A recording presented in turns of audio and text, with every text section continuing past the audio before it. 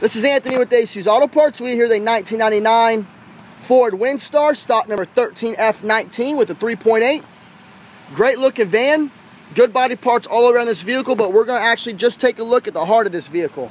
It's a 1999 Ford Windstar, stock number 13F19 with a 3.8.